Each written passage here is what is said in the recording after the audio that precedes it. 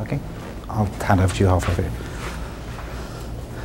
Okay, um, so this is a, a follow-on largely from James Pallister's talk uh, an hour or so ago. Um, and we're going to cover a, some work we're just starting, um, looking at how we can use milepost type technology, um, but with the objective of uh, generating uh, energy efficient uh, code. Um, some of you may notice a theme about how I work at these conferences that I tend to come along and tell you about what we're going to do and then send my staff along the next year to tell you what they actually did. Um, so we're actually going to partly do that already this year because I'm going to do the first introductory bit where I explain what the problem is and Simon here will then take over and talk a bit about how we're starting to try and solve the problem. And this is designed to be an interactive session so once what we're looking for at this stage is a lot of input from you guys about how we might go forward over this project. So what, what's it all about? Well, today, if you look at all the optimizations in GCC, they're written either to optimize for speed or to optimize for space or possibly both. And the question asked is, what if we could optimize for energy usage? And if you, those of you who go to electronics conferences will notice the common topic on any electronics design conference is how can you reduce energy? Um, and the sort of things we look at at the small end, the deeply embedded end. Um, so, well, the top end of that will be mobile phones. How do you make the battery last longer? The bottom end is how do you get more power out of your energy scavenging device or your long lifetime meter that's going for 15 years on a single dry cell. Um, so, let's explain where we've come from. We've come from two strands of academic research. The first is research into energy usage by hardware and software. And I think one of the key things we're bringing here is it's not just about the hardware we're looking at. On the whole, modern silicon design is very good when it comes to energy efficiency. Dynamic voltage and frequency scaling, uh, clock gating, that sort of thing are fabulously efficient. We're looking at the software as well. There's been less work done on actually trying to make sure the software then doesn't piss away all your energy savings. The uh, um, work that's been done to date has largely been based on modelling. So there are a number of academically respected models of energy usage in silicon chips. The challenge we have with those is even on their own admission, they're only about accurate to within 10%. And when you're starting to look at individual optimizations that may save only 1 or 2%, that's not accurate enough. So that was the original motivation behind James Pallister's project last summer, was actually to get some hard data of what is the impact of compiler optimizations on actual energy and to do it by physically measuring. The second strand of research is that we're picking up is the work on actually feeding back information into the compile process. So you think of things like uh, feedback directed optimizations, F-profile generate, F-profile use, and then moving on, the, the milepost project using machine learning to start to learn and feedback what are the most effective optimizations. So those are the two strands of work that we're pulling together, but focusing on energy. The third thing that comes in is the UK government's Technology Strategy Board, which is the UK innovation agency, and it spends several hundred million each year supporting industrial uh, research. And they've had an initiative over the last year to fund research into energy efficient computing and we've jointly with Bristol University won one of those grants and that's given us the level of funding to support us as a small company to do this research. It doesn't fully pay for it, we're putting some of our own dollar in, but it gives us enough that we can actually justify doing this research. and that gives us the MAGEEC project, Machine Guided Energy Efficient Computing. And it kicked off about six weeks ago. The slides will be published. I'm not going to talk through this slide. If you want to find out more, these four are all review papers um, to some extent, so you can go to them and then find all the back research from them. But I'm not going to talk to them, you can look them up on the slides. Um, so let's just draw together what the new things are about this project. The first is that it is focused on energy optimization. And what we're looking at is trying to get to the stage where today's programs running on today's hardware work using 20 to 40% less energy. The second thing is that we are working in the real world. We're not going to model the energy usage, we're actually going to physically measure it. And just to divert slightly, um, you saw the first generation of the energy measurement uh, from James earlier. The new board, um, which uh, we're working on at the moment and just bringing up, is a much, much higher performance sampler. So it samples 6 million voltage samples a second. Um, it has an, a decent ARM board to do some onboard processing and then stream the data off um, it can actually process samples faster than it can stream them. So we can do short bursts at six uh, uh, million samples a second. Um, we can sustain two million samples a second. So why are you doing it at that level as opposed to doing it something like um, pulling the Revel and DEPL um, registers off of, off of like the processors or whatever? So we're looking at the whole processor. We're not so we're, so we're taking, it's, it's a resistor shunt across the power supply to the processor core. Right. Okay, so we're not relying on any particular processor, particular internal architecture. And in particular, we don't want to do anything to the processor, like reading a register, that may itself affect energy consumption. Okay, and at this level of sampling, bear in mind that we tend to work in the deeply embedded space, for quite a few of the processes, we're at the stage where we can just about measure the energy consumption of a single instruction. So that's the board, and the, you can see the first one of those running. There's a little video on the wiki.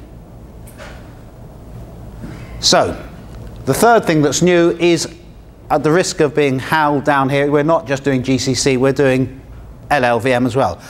One, yeah. One of the one of the actual drawbacks of Milepost was it was deeply integrated into GCC. In fact, it was deeply integrated into one version of GCC using a plug-in model that actually ended up not being the plug-in model that was adopted for GCC. So there is Milepost GCC 4.4. There is we did some work and made Milepost GCC 4.5, but it's several hundred thousand lines of patches. It's completely impossible.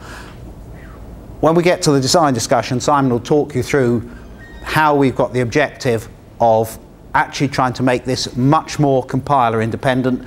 That will mean it can roll forward with new versions of GCC. It also means we can work with other compilers.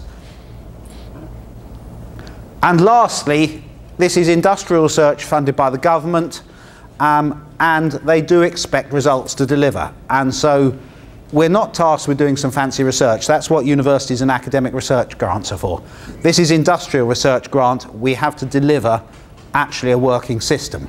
So I hope to come back next year. It's an 18-month project. We won't quite have finished by then and actually not just talk about the great research we've done, but show off actually a piece of software that you can download and you guys can all try as well. That's the overview part of it. Um, We've only been going for six weeks. The project started on the 1st of June. Okay? We've got some ideas and we've started to get the first shape of how we're going to put it together. Simon's now going to present that, um, but he's only got about three slides because the idea is to talk to those slides and have some discussion. So the more, if you think there's something we should be doing better way, you've got a good idea how we should do it, put your hand up and tell us. Okay, there'll be a brief hiatus while I transfer the microphone.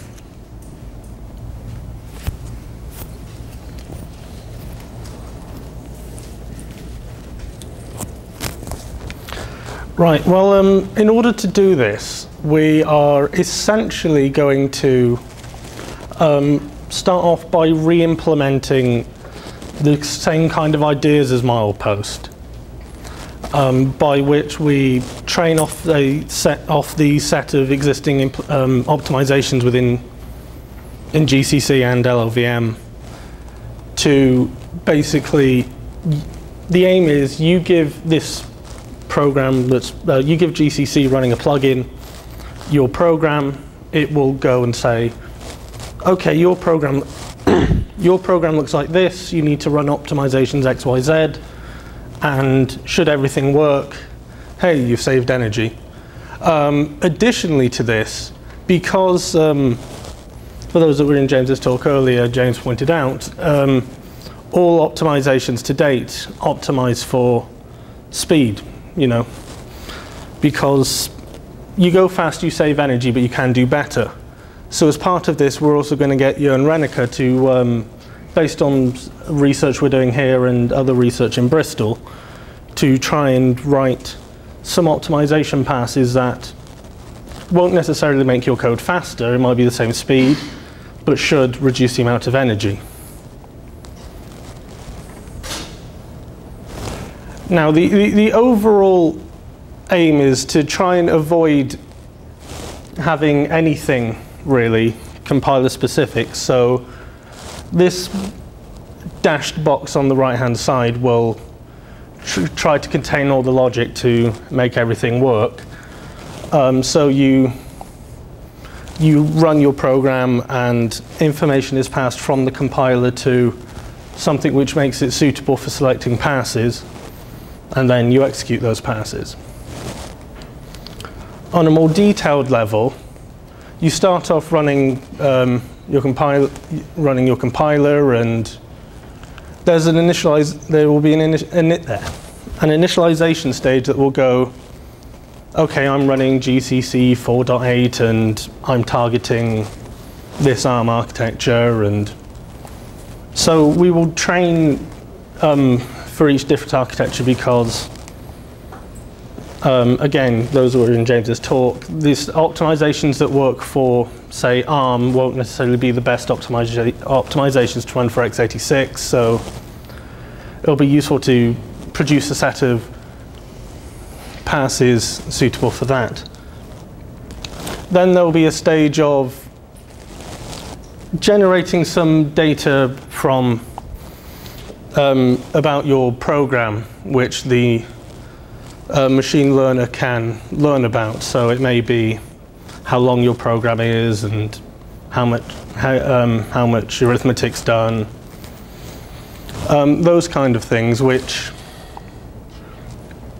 then get passed through um, the center column, which we're calling the coordinator, which basically makes sure that everything's abstract. Where the dashed lines are going down, we just have um, defined interfaces so that regardless of what your compiler is, as long as you can say give us how many basic blocks there are in each function and give us a way to overtake the pass manager, then everything else you don't have to touch and it all should just work fine. Um, based on a machine learning algorithm, we will decide optimization passes, which then get run. Um, we then generate some new, some either pull some statistics of this is what these passes did, or we do the same step again and pass that over, and this central loop can run as many times as you want. What we're um, what we think may be a way forward is if the machine learner can say, try running these optimizations, you might save this much energy, is have some sort of threshold that, okay, maybe it's not worth spending forever and a day compiling my piece of code, we've gone far enough. And then eventually, things just come to an end. Um, one big challenge that we um, foresee is one thing we want to try and add is the ability to also change the order in which passes go. So one big um, part of the training setup for this will be um, teaching the system what makes sense to do, um, what, what orders of passes are valid, which may possibly be done with trying a bunch of options and seeing what crashes and going, that's bad, maybe we should avoid those. Um,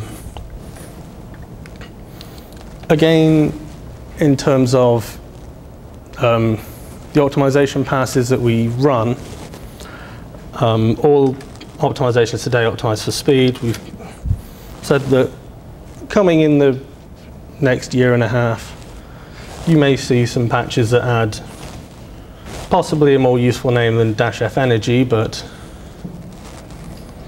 Oh, um, but yes, yeah, dash O, um, big O power or something. Yeah. yes, and yeah, yeah. P.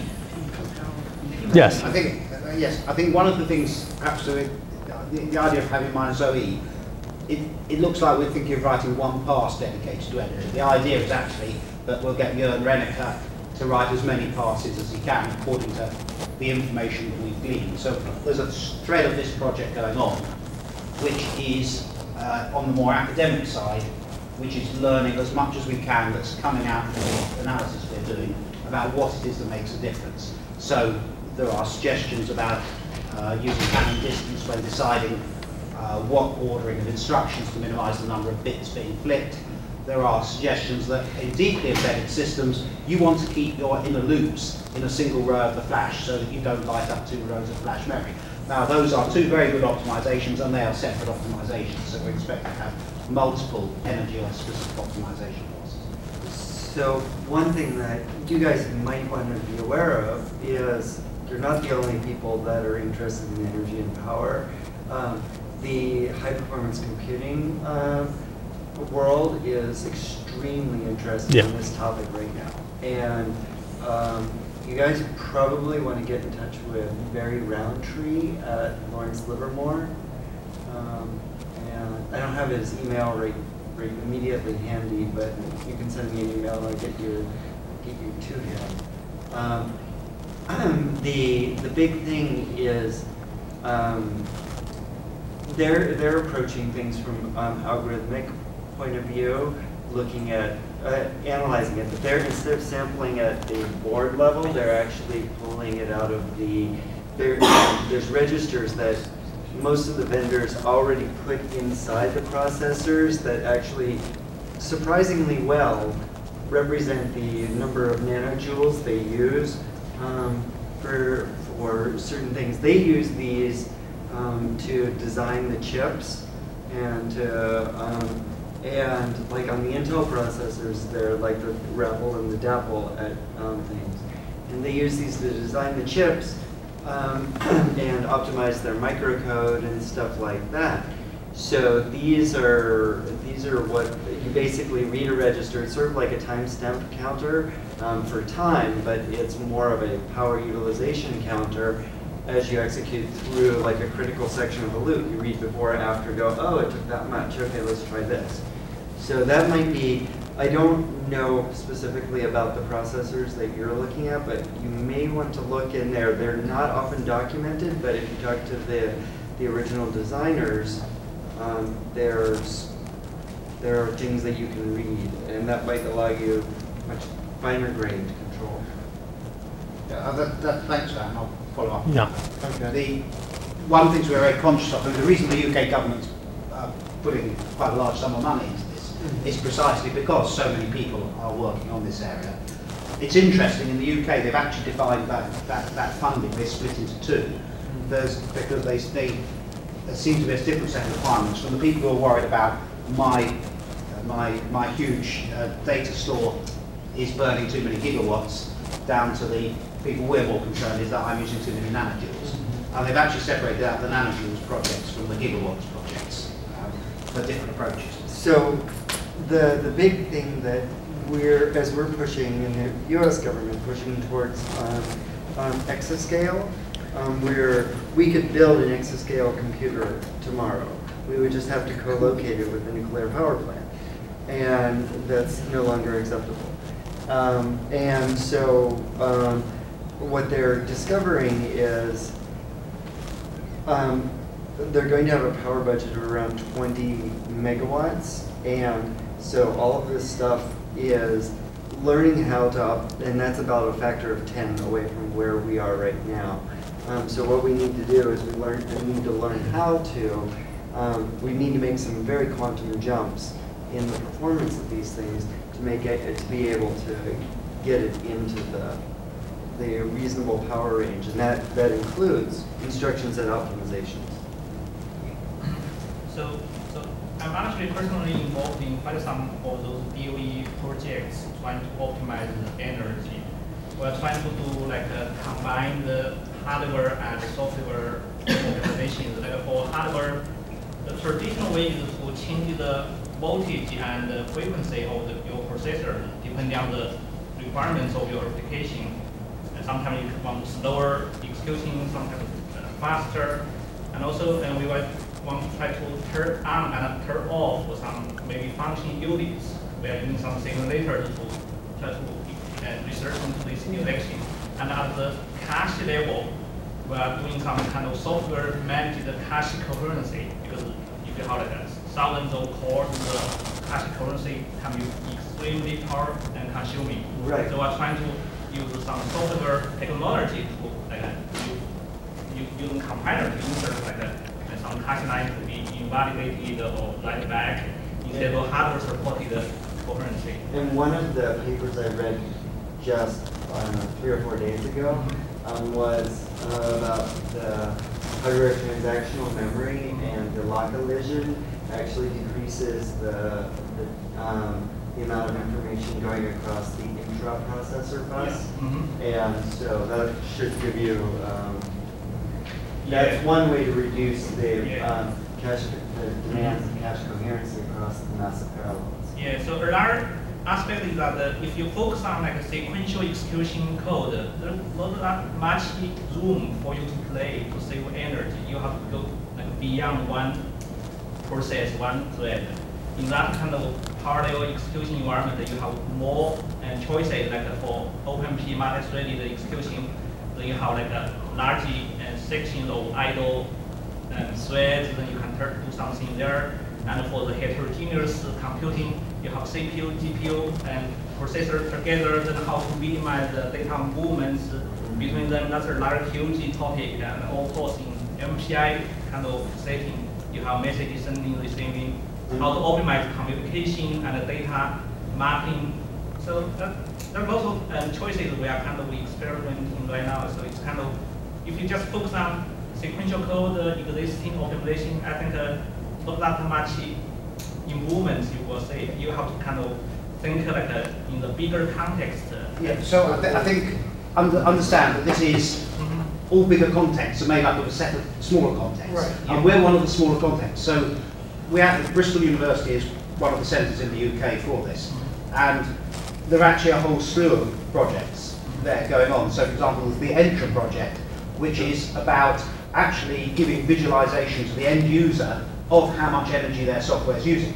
Because the number of software engineers who program for speed is very large, the numbers who program for size is quite large, the numbers who program for low energy usage is vanishingly small. And the reason is, I can find out how fast my program goes, I can find out how small my program is, but I can't find out how much energy it's using easily. So there's a whole slew of projects, and you're quite right. There's a general feeling the higher you go up the, the layer, up to the application layer, you're going to save more. This will only work at the level of the compiler, and it was deliberately constructed to ask the question of how much can we do and what with the compiler. But it's only one. You'd use this in conjunction with tools uh, to, to, To to, to do all the other, the other bits. And indeed, the one of the really interesting ones, as you say, is the changing the instruction set architecture to make an energy efficient instruction set. architecture. Right, yeah, the hardware lock elision seems to be a great one, Yes. especially, yeah. Yeah, it's, it's a great one even for performance too. Right, yeah. Just because you don't have to maintain the same level of coherency. Okay. So, any more? Um, yes. Um, As, as part of this project, and because everyone knows open and free is brilliant, um, ev- literally everything we do will be documented on the project website. Like, okay, maybe not the detail for what type of tea did Jeremy have this morning, but um, Well, I think that's important too. or was it brewed in an energy efficient manner? But Yeah, yeah, you may be kidding, and then you'll go his other. um, It was in the UK, they had the first camera, Yeah, coffee camera. absolutely. Um, but yes, so in terms of, you know, everything from the design to, well, things that are made as they are made. Yeah. Um, thank you. Okay. Do you want to go back up a couple to your design? So, so on this, this is the, we're at an early stage here, and we see one of the challenges here is extracting, actually extracting the features um, in a way that is sensible and compiler neutral. Um, and the second challenge is going to be is controlling the pass manager in a in a way that doesn't get too built in to the compiler. So are you pulling this off in the intermediate layer, like John Gimple? And that's the one part I don't get about this. Like where? Well, This it's is don't everywhere. everywhere, any pass. Well, we could Well, ha- we uh, could have we could have this at mul- you know multiple times